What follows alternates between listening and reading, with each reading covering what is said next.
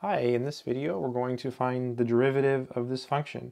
We have f of x equals g of sine x, and we have to find f prime of x. Let's go ahead and work through it. Solution. So to do this problem, we're going to use something called the chain rule. The chain rule says if you take the derivative with respect to x of the composition f of g of x, you want to think of f as your outside function and g as your inside function. So basically, you take the derivative of the outside, and then you leave the inside function untouched, and then you multiply by the derivative of the inside function. So in this case, the inside function is g. Its derivative is simply g prime of x.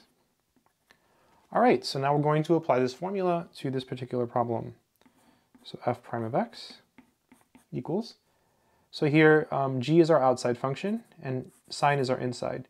So you take the derivative of the outside, then you leave the inside untouched, and then times the derivative of the inside function. The inside function is sine, so its derivative is cosine.